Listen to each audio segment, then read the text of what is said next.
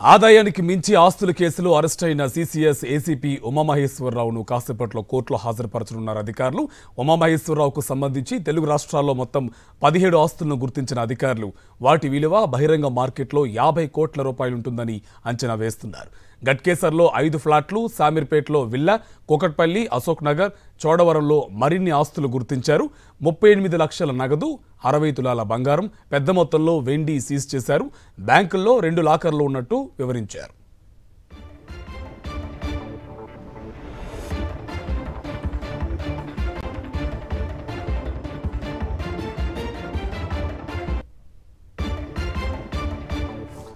రెడీగా ఇదే అంశకు సంబంధించి మరింత సమాచారం మా కరెస్పాండెంట్ వాసు మనకి ఏసీబీ కోర్టు నుంచి అప్డేట్స్ అందిస్తారు లైవ్లో. వాసు అప్డేట్స్ ఏంటి? ఉమామహేశ్వరరావుకు సంబంధించినటువంటి ఆస్తులు చిట్టా ఒక్కొక్కటి బయటకు వస్తుంది. సుమారు ఆ, సివిల్ కేసులన్నీ కూడా క్రిమినల్ కేసులుగా మార్చేసి చాలా వరకు అక్రమాస్తులు పోగేసినట్టు తెలుస్తుంది. అప్డేట్స్ అండి. ప్రస్తుతం సీసీఎస్ ఏసీపీ ఉమా ఉమామహేశ్వరరావు అవినీతి చిట్టా పనిలో ఏసీబీ అధికారులు పడ్డారు. నిన్న ఉదయం నుంచి కూడా దాదాపు పద్నాలుగు చోట్ల తెలంగాణ హైదరాబాద్ సీసీఎస్ ప్రధాన కార్యాలయంతో పాటు ఇతర అతని స్వగ్రామమైనటువంటి జిల్లాలో కూడా సోదాలు నిర్వహించారు. స్నేహితులు బంధువుల ఇళ్ళలో కూడా సోదాలు సాగించిన నేపథ్యంలో చాలా భారీ ఎత్తున ఆస్తులు బయటపడ్డాయి. మనం చూసినట్టయితే షామీర్పేటలో విలాసవంతమైన విల్లాతో పాటు అశోక్ నగర్లో మూడు ప్లాట్లతో పాటు గట్కేసర్లో ఐదు ఓపెన్ ప్లాట్స్ కూడా గుర్తించినటువంటి నేపథ్యం కనిపిస్తూ ఉంది. మొత్తం ఆస్తుల విలువ ప్రభుత్వ డాక్యుమెంట్ వాల్యూ లెక్కల ప్రకారం మూడు కోట్లుంటే బహిరంగ మార్కెట్లో దాదాపు యాభై కోట్లు ఉండే అవకాశం ఉంటుంది. ఇంకా బినామీ ఆస్తులు గుర్తించాల్సి ఉంది రెండు లాకర్లు గుర్తించారు. ఆ లాకర్లో మరి కీలక డాక్యుమెంట్లు ఉండే అవకాశం ఉంది. అది ఇదంతా అతను అవినీతి సొమ్మంతా పక్కన పెడితే ఇతడు గతంలో పలుమార్లు సస్పెండ్ అయిన నేపథ్యంలో కూడా తిరిగి ఒక కీలకమైన పోస్టులో అతను ఎలా ఉంచారన్న అంశానికి సంబంధించి కూడా ఉన్నతాధికారులు ఆరాధిస్తూ ఉన్నారు. ఎందుకంటే సిసిఎస్ అనేది మనం చూసా ఇటీవల కాలంలో కూడా సాహితీ ఇన్ఫ్రా లక్ష్మీనారాయణకు సంబంధించి కొన్ని వందల కోట్ల రూపాయలకు సంబంధించినటువంటి వ్యవహారంలో కూడా వేల కోట్లు ఎగ్గొట్టిన నేపథ్యానికి సంబంధించి ఆ కీలక కేసుని ఇతడు ప్రస్తుతం డీల్ చేస్తూ ఉన్నాడు. ఈ కేసులో నిందితుల నుంచి కూడా బెదిరింపులకు పాల్పడి భారీ ఎత్తున డబ్బులు కూడగట్టాడన్న అంశానికి సంబంధించి కూడా దర్యాప్తు సాగుతూ ఉంది. ఏసీబీ అధికారులు పూర్తి స్థాయిలో కూడా దర్యాప్తు చేస్తూ ఉన్నారు. అంటే ఇటీవల తాజా ప్రభుత్వం వచ్చిన నేపథ్యంలో కూడా ప్రభుత్వానికి ఇతనిపైన అనేక ఫిర్యాదులు అందాయి. తోటి సిబ్బంది పైన అమర్యాదగా మాట్లాడడంతో పాటు అనేక సివిల్ కేసుల్ని కూడా క్రిమినల్ కేసులుగా మార్చి అందులో ని- బాధితుల్ని కూడా బెదిరించిన నేపథ్యానికి సంబంధించి పెద్ద ఎత్తున డబ్బులు వసూలు చేశారు. మరికొంతమంది పోలీస్ అధికారులు కూడా ఇతనికి సహాయక సహకార్యాలు అందించారు. ఎవరెవరు అధికారులు ఉమామహేశ్వర వెనకాల ఉన్నారు. ఎంతమంది దగ్గర బినామీ ఆస్తులు ఉన్నాయి?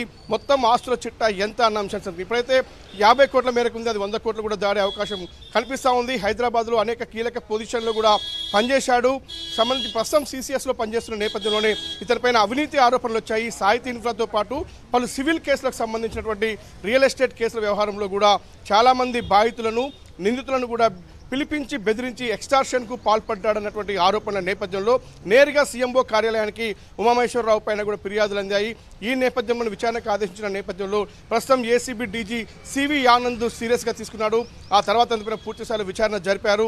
ఆ విచారణ ఆధారంగా కూడా అన్ని రుజువైన తేలిన నేపథ్యంలో కూడా నేను తెల్లవారుజాము నుంచి కూడా అశోక్ నగర్లోని నివాసంలో అతని కూతురు నివాసంతో పాటు అత్తామామల నివాసంలో. దాదాపు మనం చూసినాం క్యాషే ఒక పోలీస్ అధికారి దగ్గర ముప్పై ఆరు లక్షల రూపాయల క్యాష్ దొరికింది. దాదాపు బంగారం కూడా చూస్తున్నాం చాలా భారీగా బంగారం బయటపడుతున్న నేపథ్యం కనిపిస్తూ ఉంది కాబట్టి ఇదంతా కూడా అత్తామామల ఇంట్లో దాచాడు ఎవరికి అనుమానం రాకుండా ఎవరి దగ్గర ఎలాంటి లావాదేవీలు కొనసాగిస్తున్నారో అదంతా కూడా తన ట్యాబ్లో అతను రాసుకున్న నేపథ్యంలో కూడా సందీప్ అనేటువంటి వ్యక్తి పేరు బయటకు వచ్చింది. మరి సందీప్ అనే వ్యక్తి పోలీస్ అధికారా? లేదంటే సీసీఎస్లో పనిచేస్తున్న మరో అధికారా? ఎవరనే అంశానికి సంబంధించి కూడా ఏసీబీ అధికారులు వచ్చారు. మరి కాసేపట్లో బంజారా హిల్స్లో ఉన్నటువంటి ఏసీబీ ప్రధాన కార్యాలయం నుంచి ప్రస్తుతం ఉన్నటువంటి ఏసీబీ కోర్టుకు ఉమామహేశ్వరం హాజరుపరుస్తారు రిమాండ్ రిపోర్ట్లో ఎలాంటి అంశాలు ఉంచబోతా ఉన్నారు? ఎవరెవరి అధికారుల పాత్ర ఇంకా ఉంది? ఉమా- ఉమామహేశ్వరరావు అవినీతి చిట్టా వెనకాల అంశానికి సంబంధించి కూడా ఇతర పోలీస్ అధికారుల పాత్ర పైన కూడా ఏసీబీ డీజీ సివి ఆనంద్ దర్యాప్తు చేస్తున్నట్టుగా సమాచారం అందుతుంది. మరి కాసేపట్లో ఉమామహేశ్వరరావుని కోర్టు ముందు హాజరుపరిచారు. రిమాండ్ రిపోర్ట్లో ఎలాంటి అంశాలు ప్రస్తావిస్తారో అది చాలా కీలకంగా మారబోతుంది ఈ కేసులో. రైట్ థ్యాంక్ యూ వాసు ఆంధ్రప్రదేశ్లో కూడా ఏసీపీ ఉమామహేశ్వరరావుకు భారీగా ఆస్తులున్నట్టు గుర్తించారు అధికారులు. విజయవాడ విశాఖలో ఫ్లాట్లు భూములు ఉన్నట్టు సమాచారం. మరింత సమాచారం విశాఖ నుంచి మా కరస్పాండెంట్ నరేష్ మనకి అప్డేట్స్ అందిస్తారు. నరేష్ ఉమామహేశ్వరరావుకు సంబంధించినటువంటి ఆస్తులన్నీ కూడా వైజాగ్లో కూడా ఉన్నట్టు తెలుస్తుంది. ఇంకోవైపు ఈ ఉమామహేశ్వరరావు వెనుక ఇంకా ఉన్నతాధికారులు ఎవరెవరు ఉన్నారు అనే దాంట్లో కూడా ఆ, నా అధికారులు కూపీలాగుతున్నట్టు తెలుస్తుంది. అప్డేట్స్ ఏంటి?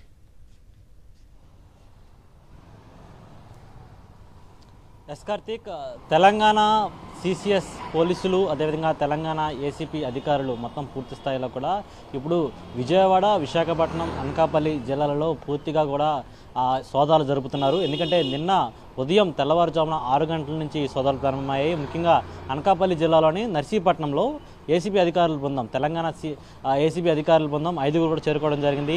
అయితే ముఖ్యంగా నర్సీపట్నంకి సంబంధించి రోలుగుంట వద్ద పూర్తిగా కూడా ఐదు ఐదుగురు అధికారుల బృందం కూడా చేరుకొని అక్కడ సోదాలు జరిపిన సిచ్యువేషన్ మనం చూస్తున్నాము. అయితే ముఖ్యంగా ఎవరైతే సిసిఎస్ ఏసీపీ ఉమామహేశ్వరరావు ఉన్నారో ఉమామహేశ్వరరావుకు సంబంధించిన బంధువులు ఇళ్ళలో సోదాలు జరుగుతున్నాయి. అందులో భాగంగానే రోలుగంటలో ఉన్న తమ్మునాయుడు దివంగత తమ్మునాయుడు ఇంట్లో కూడా సోదాలు జరిగింది. అయితే తమ్మునాయుడు భార్య అదేవిధంగా వారి సోదరులు ఇళ్ళలో కూడా సోదాలు జరిపారు. అయితే కొంతవరకు వీరు కొన్ని క్రయ విక్రయాలు జరిపారని అదేవిధంగా నర్సీపట్నం రోలుగొంట అదేవిధంగా అనకాపల్లి జిల్లాలో పలు స్థలాలు అదేవిధంగా సైట్లు కూడా కొన్నట్లుగా అధికారులు మొత్తం అంతా కూడా ఆ రికార్డ్స్ను పరిశీలిస్తున్నారు. అదేవిధంగా విజయవాడలో కూడా పలు ఆస్తులు అపార్ట్మెంట్లు కొనుగోలు చేసినట్టుగా గుర్తించారు.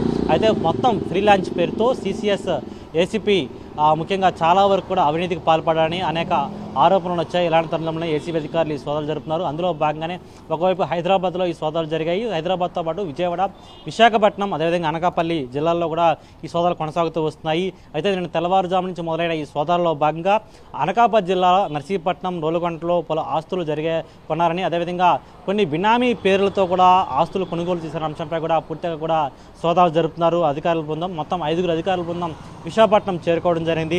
అదేవిధంగా అనకాపల్లి జిల్లాతో పాటు విజయవాడ విజయవాడలో కొనుగోలు చేసిన అపార్ట్మెంట్లపై కూడా కన్ను వేశారు. ఎందుకంటే అపార్ట్మెంట్లు పలువురు వ్యక్తులపై కొనుగోలు చేసినట్లుగా ఆ బినామీలు ఎవరు ఏ సమయంలో కొనుగోలు చేశారు ఆ నగదు లావాదేవీలు ఏ విధంగా జరిగాయి హైదరాబాద్ నుంచి నగదును ఆన్లైన్ ట్రాన్స్ఫర్ చేశారా అదేవిధంగా బై లిక్విడ్ క్యాష్ ఇచ్చినట్లయితే ఎవరి ద్వారా ట్రాన్స్ఫర్ చేసిన అంశంపై కూడా చూస్తున్నారు. మరోవైపు ఈ అనకాపల్లి జిల్లాకు సంబంధించి కొనుగోలు చేసిన స్థలాలకు సంబంధించి ఎవరు బినామీగా ఉన్నారు అదేవిధంగా ఆ బినామీకి వీరికి సంబంధం ఏంటి? మరోవైపు ఇతను బంధువులు ఎవరైతే ఉన్నారో అనకాపల్లి జిల్లాలో తమ్మునాయుడు తమ్మునాయుడు భార్యపై ఉన్న ఆస్తుల వివరాలను కూడా సేకరించే పనిలో పడ్డారు. అయితే ఇప్పటికే హైదరాబాద్కు సంబంధించి పలు లాకర్లు దొరికాయి. ఆ లాకర్లకు సంబంధించిన కోడ్లు కావచ్చు అదేవిధంగా వాటికి సంబంధించిన సమాచారమైన వాళ్ళ బంధువులు ఇళ్ళలో ఉంటుందో వాళ్ళకి సంబంధించిన సమాచారం ఏమైనా దొరుకుతుందని కొనడం కూడా అధికారులు పూర్తిగా ఏసీబీ అధికారులు సోదాలు జరిపి జరుపుతున్నారు. ఇంకా విశాఖపట్నంకి సంబంధించి పలు అపార్ట్మెంట్లు కొనుగోలు చేసినట్లు కూడా అధికారులు అనుమానిస్తున్నారు. అందులో భాగంగానే వాటికి సంబంధించిన లింకులు కూడా బయటకు తీసే ప్రయత్నం అయితే చేస్తున్నారు కార్తీక్. అండ్ నరేష్ ఇది ఒక్క సంవత్సరానికి సంబంధించి జరిగింది కాదు. కొన్ని సంవత్సరాల నుంచి ఇదే ప్రాసెస్ కంటిన్యూ అవుతుండడం వల్ల ఇవాళ ఇది బయటపడింది. అండ్ దట్టు ఇంత జరుగుతున్నప్పుడు కూడా అధికారులు ఏం చేస్తున్నారు? ఒక పోలీస్ డిపార్ట్మెంట్ అంటే ప్రజలకు ఆల్మోస్ట్ ఒక నమ్మకం ఉన్న ఒక డిపార్ట్మెంట్లో ఈ కైండ్ ఆఫ్ తిమింగ్లాలు బయటకు వస్తున్నప్పుడు ఇంకా ప్రజలకు ఎటువంటి విశ్వాసం ఉంటుంది? ఉన్నతాధికారులు ఎందుకు యాక్షన్ తీసుకోలేదు ఇన్నాళ్ళు? కార్తీక్ ఖచ్చితంగా మనం ఈ విషయం గురించి మాట్లాడుకుంటే ఉమామహేశ్వరరావు అనే అధికారి చాలా కాలం నుంచి కూడా అతనిపై అనేక సార్లు సస్పెన్షన్ వేటు కూడా పడిన దృశ్యాలు మనం చూసుకోవచ్చు. ఎందుకంటే గతంలో అతను అనగా ముఖ్యంగా హైదరాబాద్లో పనిచేసిన సమయంలో జవహర్ నగర్ పోలీస్ స్టేషన్ లిమిట్స్లో పనిచేసినప్పుడు కూడా ఓ కేసులో సస్పెండ్ అయ్యాడు. ఆ తర్వాత మరొక పోలీస్ స్టేషన్ బదిలైన తర్వాత అక్కడ కూడా కొన్ని అవినీతి ఆరోపణలు రావడంతో అక్కడ కూడా సస్పెండ్ అయిన సిచ్యువేషన్ చూసాం. అంటే ఈ అధికారి మొదటి నుంచి కూడా అవినీతి వైపే అవినీతి మార్గంలో నడుస్తూ వచ్చారు. అయితే కేవలం ఉమామహేశ్వరం మాత్రం కా మాత్రమే కాకుండా ఉమామహేశ్వరం వెనకాల కొంతమంది ఉన్నతాధికారులు ఉన్నారు. వారి ఆ ప్రోద్బలంతోనే ఇన్ని వందల కోట్ల రూపాయలు కూడా వెనకేసుకుని వచ్చి బినామీల పేర్లతో ఆస్తులు కొనుగోలు చేశారని ఒక ఆరోపణ కూడా ఉంది. మరోవైపు ఏదైతే ఈ ఫ్రీలాన్స్ పేరుతో వచ్చిన కేసు సంబంధించి చూసుకుంటే సిసిఎస్కి కేసు బదిలైన తర్వాత మొట్టమొదట్లో హైదరాబాద్లోని సిసిఎస్ పోలీస్ స్టేషన్ ఎదుట బాధితులు భారీ ఎత్తున కూడా ఆందోళన చేసిన విషయం కూడా మనకు తెలిసిందే. అయితే ఈ ఆందోళన జరిగిన సమయంలో సిసిఎస్ ఏసీపీగా ఉన్న మామేశ్వరరావు ఈ కేసు టేకప్ చేసిన తర్వాత నిందితులను తప్పించే ప్రయత్నం అదేవిధంగా నిందితుల దగ్గర నుంచి భారీ ఎత్తున ముడుపులు తీసుకున్నారు లంచం తీసుకున్నారన్న ఆరోపణలు ఉన్నాయి. ఇలాంటి తరుణంలో అనే- అనేక ఆరోపణలు వచ్చినప్పుడు అప్పుడే ఏసీబీ అధికారులు అతనిపై దృష్టి పెట్టడం జరిగింది. అదేవిధంగా ఇంతకుముందు ఏసీపీ నుంచి ఇన్స్పెక్టర్ స్థాయిలో ముందుగానే ఇన్స్పెక్టర్ స్థాయిగా ఉన్నప్పుడు కూడా అనేక ఆరోపణలు వచ్చాయి. ఈ నేపథ్యంలోనే చాలా ఏళ్ళ నుంచి కేవలం ఇది ఒకటి రెండు సంవత్సరాల నుంచి కాదు ఎప్పటి నుంచో ఇతను అవినీతి ట్రాక్లో నడుస్తున్నాడని కూడా వాళ్ళకి చెప్పుకోవాల్సిన విషయం. మరోవైపు మరీ ముఖ్యంగా ఎక్కువ శాతం లంచాలు తీసుకున్నది అనేది ఈ ఫ్రీలాన్స్ పేరుతో వచ్చిన కేసు సంబంధించి ఆ, ఈ కేసులోనే ఎక్కువ శాతం కూడా నిందులు తప్పించే ప్రయత్నం చేశారు. దానికి సంబంధించిన వారు లంచాలు భారీగా ఇచ్చారు. ఆ కోట్ల రూపాయల నవ్వు నగదుతోనే అపార్ట్మెంట్లు అదేవిధంగా స్థలాలు కొనుగోలు చేసినట్లు గుర్తించడం జరిగింది. గతంలో ఇన్స్పెక్టర్గా పనిచేసిన సమయంలో కూడా భారీ ఎత్తున అవినీతికి పాల్పడడంతో అవినీతి సొమ్ముతోనే ఈ కోట్ల రూపాయలను ఆస్తులను కూడా కూడగొట్టున్నారని కూడా ఆరోపణలు వినిపిస్తున్న సిచ్యువేషన్ చూస్తున్నాం. Right thank you Naresh